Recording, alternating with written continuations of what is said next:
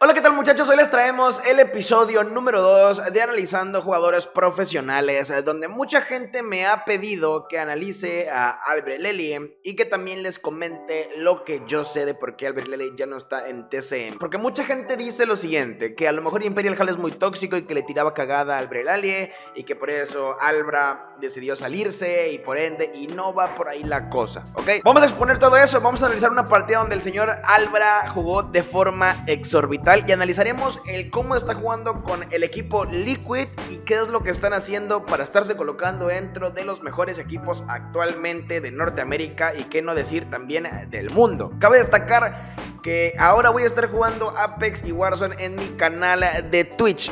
Pero Apex va a ser un poco más de chill. Ya no voy a jugar rank así como para querer llegar a Predator o para estresarme tanto. No, voy a estar jugando un poco más con ustedes. Voy a jugar con seguidores, voy a jugar 1v1 con seguidores.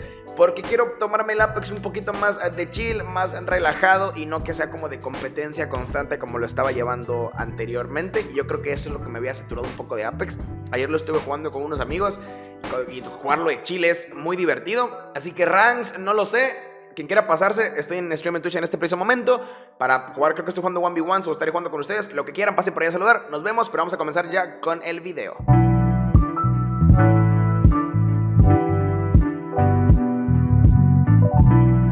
Vamos a comenzar con la parte de landing. Y esto es muy importante cuando los muchachos están cayendo. Muy pocos equipos hacen eso. Yo creo que también a ustedes les falla eso. Pero vean esto. Están cayendo los equipos y están viendo a dónde van cayendo todos. En los torneos normalmente todos los equipos ya cuentan con un spot específico para caer.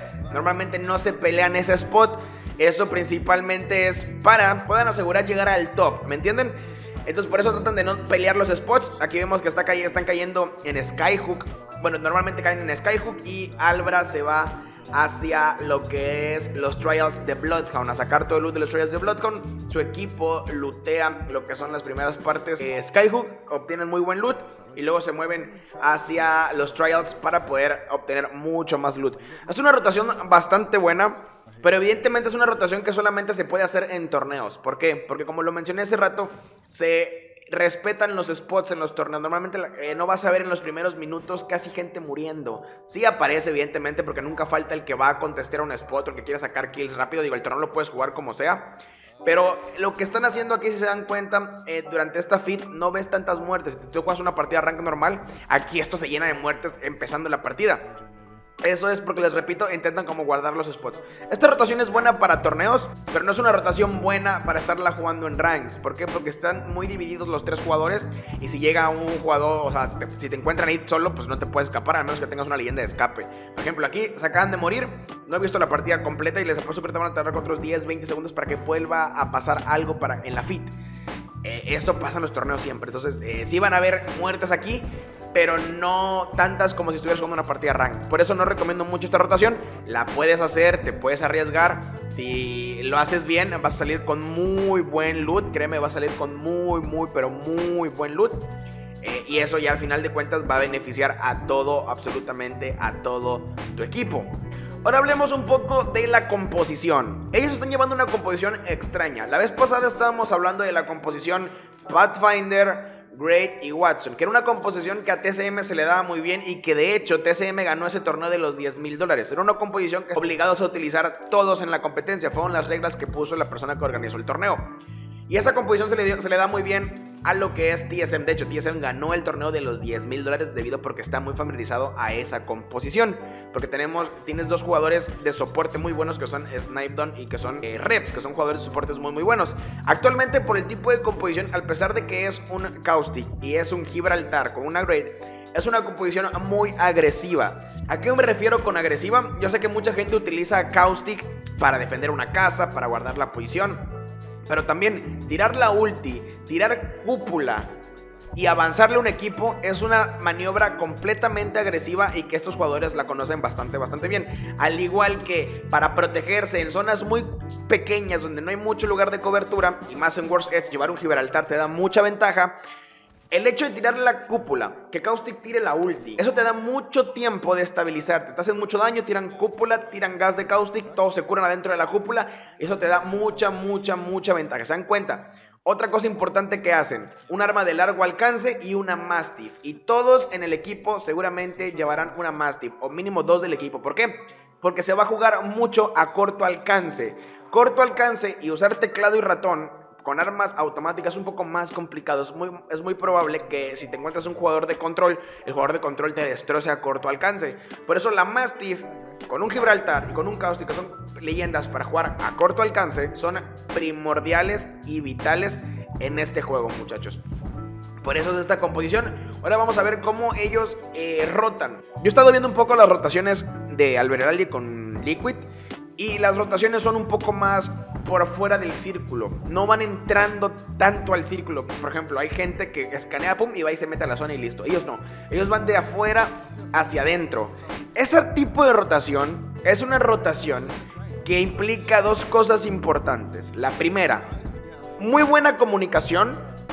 Porque el hecho de estar enfrentándote a varios enemigos durante toda la partida implica que tienes que tener muy buena comunicación. Y la segunda, muy buen uso del environment o de las leyendas. ¿Por qué? Van a haber situaciones donde el que mejor utilice a Great los va a poder sacar de situaciones de peligro. El que mejor usa Gibraltar va a poder utilizar las habilidades para sacar las situaciones de peligros. Todo eso es súper importante al momento de jugar una partida con esta composición de leyendas. Voy a aprovechar esta parte, que es la parte como más tardada de la partida, para explicar qué pasó con TCM Albrelelie. Alba. Yo le digo Albrelelie, pero es Albra Lilie. Lelie, Lulie, Lulubeli, como le quieran decir. Con Albra, ¿qué pasó con Albra? ¿Por qué se salió de TSM? Bueno, Originalmente él no se salió de TSM porque no quisiera competir en Apex. Él vio que a lo mejor el juego de Apex estaba muy muy por debajo de lo que podría generar en ingresos. Te explico.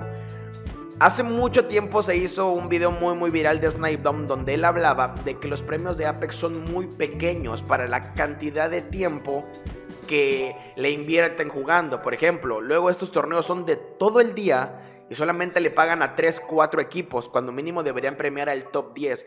Entonces, estás hablando que esos equipos pierden todo ese día jugando y luego más el tiempo que pierden entrenando y quedan en un top 9, que un top 9 de, un, de una final así, un top 9, un top 10 de una final así, eh, debería ser premiado. De hecho, en una final así deberías premiar los 20 lugares, porque son los mejores, son tus mejores 20 equipos, ¿no?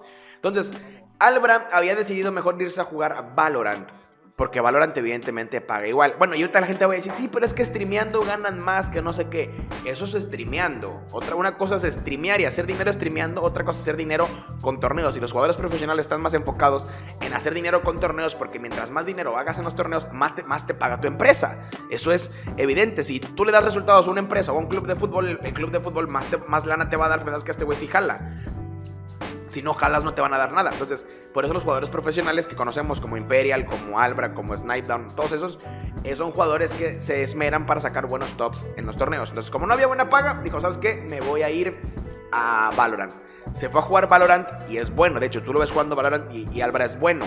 El problema es que hay gente en Valorant que le lleva 4, 5, 6, 7 o hasta 10 meses de ventaja. ¿Por qué? Porque han jugado el juego durante mucho más tiempo y se dio cuenta que aparecer en la escena competitiva de Valorant iba a ser un poco difícil. Para ese entonces, TSM no podía decir, ah, vamos a esperar a que Álvaro decida regresarse. No, hay que conseguir un tercero.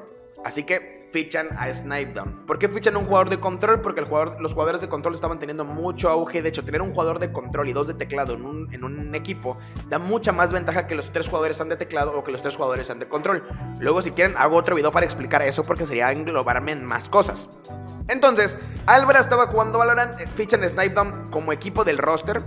Entonces, Álvaro decide luego, ¿sabes qué? Se voy a competir en, en Apex, pero evidentemente no pueden sacar Snipedown. No pueden decirle, ¿sabes qué, Snipe? Ya no, nos vemos.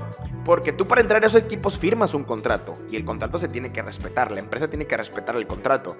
Entonces, si ya firmó a Snipedown como roster oficial de TSM, a Snipedown le pagan. Entonces, ¿qué es lo que pasaría si Álvaro regresa al equipo de TCM? Snipedown se sale, pero a Snipedown le tienen que seguir pagando porque ya firmó el contrato. Y a lo mejor Snipedown no era un, un jugador que lo querían ni como creador de contenido, ¿saben? A lo mejor lo jalaron porque era la mejor opción para el equipo, pero no, no lo necesitaban tanto en, en, la, en el roster. Entonces sería pérdida de dinero para la empresa, primero que nada por ahí.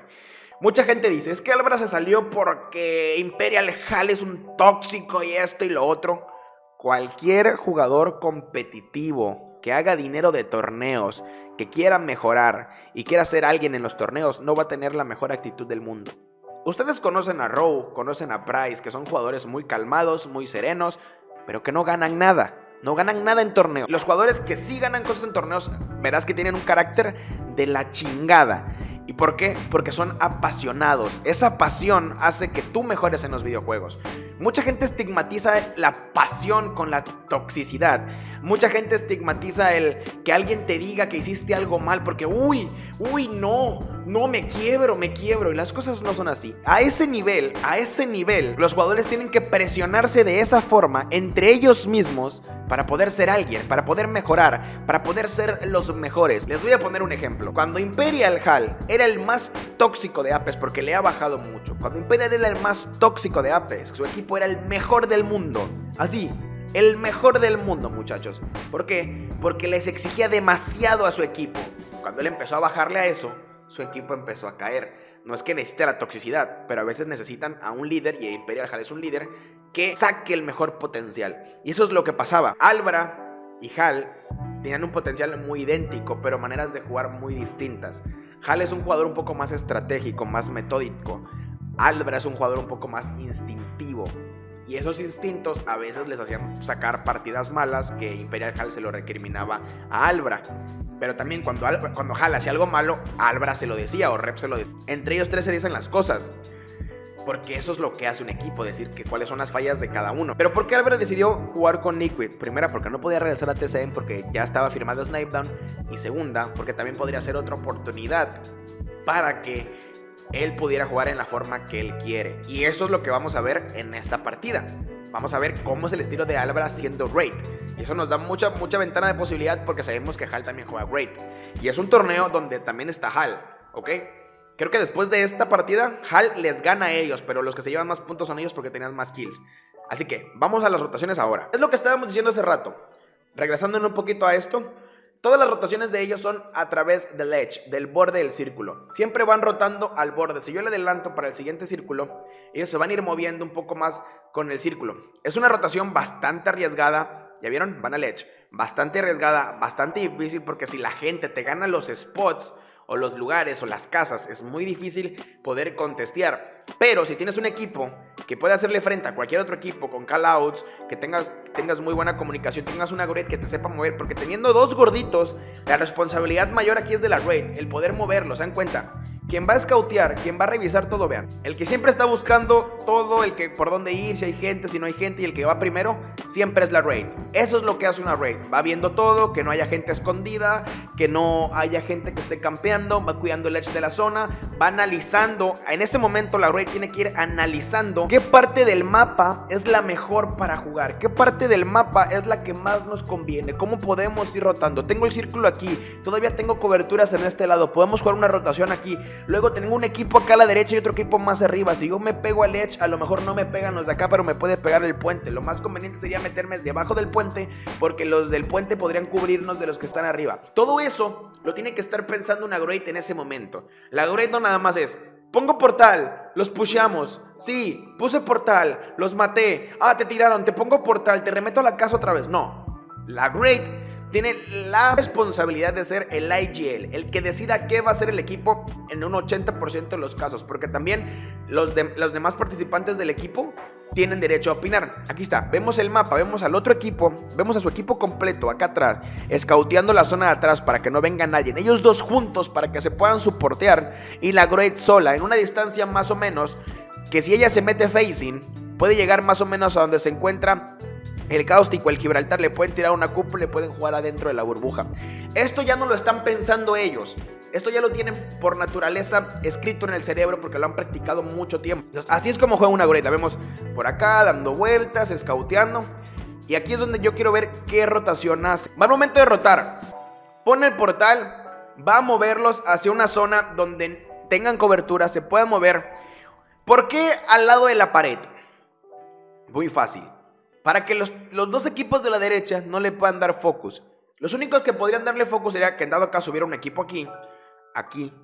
El de acá arriba no. Les explico por qué. Los que están arriba en el puente se llegan a asomar para dispararle a ellos. Los demás equipos le van a estar disparando a ese equipo y no van a poder sacar las kills. En, este, este, en estas situaciones debes pensar en qué, de qué forma los demás equipos pueden ayudarte en tu rotación. Y esta es la forma en la que los demás equipos ayudan a la rotación del equipo de Liquid con Álvaro. Pone el portal ahí que le da dos coberturas increíbles. Tienen los beans, tienen las rocas, tienen la protección de la pared de arriba.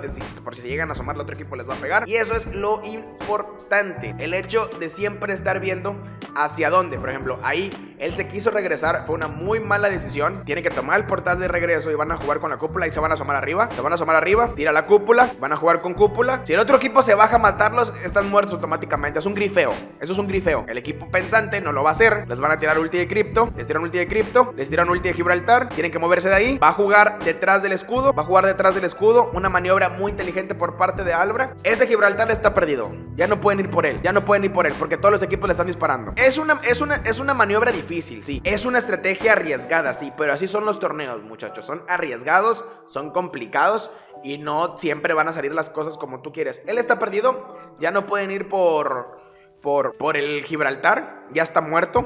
Lo que tienen que buscar es sobrevivir. Y aquí es quien los debe sacar de apuro es la Ray. Es regresando a la zona de cobertura que tenía antes. Me meto la batería, me meto el Celerance para poder tener portal. E intento rápidamente buscar una zona donde pueda estar con mi compañero que nos mantenga en una posición segura. Lo más, lo más seguro que Albra va a hacer es meterlos acá debajo. Bueno, no está en zona, es meterlos debajo del puente. Entonces, aquí, lo, aquí la suerte es muy importante, que no haya nadie debajo del puente. Llegar a ver a alguien debajo del puente, tienes que pelear. Tienes que tomar ese enfrentamiento. Hay enfrentamientos que tienes que tomar que son decisivos. Queda 5% para el portal, está avanzando, él está scouteando. Si recuerden, él es el que tiene que scoutear. Tiene que estar revisando si hay gente, si no hay gente, por dónde moverse, por dónde rotar. Eso es lo importante, ahí está. Va, va con el portal, tiene gente ahí enfrente de él. Se avienta un jump, un jump bastante bueno que los pone en una, en una situación bastante, bastante buena. El único equipo que podría hacerles daños es este equipo de aquí. Pero ya no, los equipos van a quedar arriba de él y están debajo de él. Esto es lo que hace una Great, muchachos. Esas son las, son, eso es lo que tiene de importante una Great en el equipo. El tener estas habilidades, el tener esta capacidad de pensar, eh, la capacidad de sacar a su equipo de apuros es lo que define una Great de otra. Todos los jugadores que utilicen Great son buenos, porque Great es una leyenda fácil de usar para matar. Tiene, tiene la caja de daño más pequeña, aunque ya se la hayan puesto más grande, sigue siendo la más pequeña casi de todos. Tiene mucha movilidad. Y de hecho, no sé si ustedes sienten, pero con Great es un poco más fácil dispararle a la gente porque es un poco más chaparrita. Matar con Great es lo más fácil que existe. Es mucho más fácil que cualquier otra leyenda. Matar con Great. Con teclado, con ratón o con control. Con lo que tú quieras. Es una leyenda muy viable para toda la gente que está aprendiendo a jugar. Porque Great la puede aprender a utilizar casi todo mundo. Pero explotarla a su máximo porcentaje como ellos la, explotan. Como Alberali ha hecho en esta partida, es lo que muy pocas Greats hacen. Eso es lo importante para ser great. Si tú eres great y eres la great de tu equipo y no sabes hacer este tipo de cosas, no sirves como great. A lo mejor sea el que más mates, seas el que más eh, te mantengas vivo siempre, seas el último de tu equipo siempre y estés vivo. Eso es lo que debe hacer una Great. La Great es la que, la, que se debe morir de último porque tiene el facing, porque puede rotar rápido. O sea, son cosas que por ende tienes que hacer. Evidentemente, un, un Caustic no se va a quedar vivo hasta el final porque apenas lo encuentre no tiene habilidades de escape. Un Pathfinder podría también escaparse, pero la Great es la leyenda idónea, señores, para escape.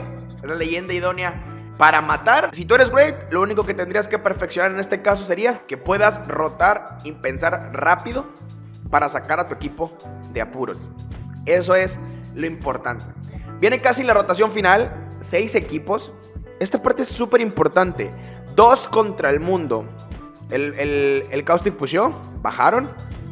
Muertos, muerto todo el equipo, brutal hace el armor swap y saben que tiene un equipo abajo todavía. Tienen que buscar al Gibby para matarlo, que, queda un Gibby abajo.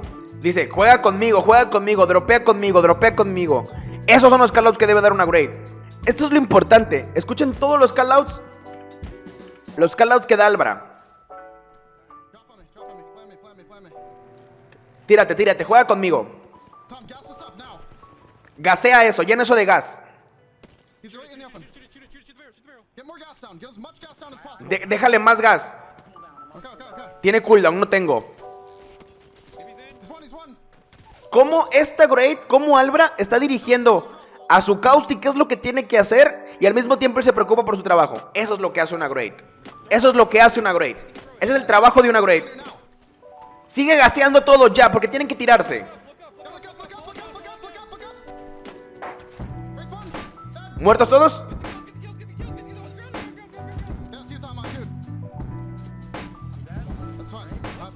¿Por qué pensó eso y por qué ganó? Muy sencillo. Muy sencillo, vean.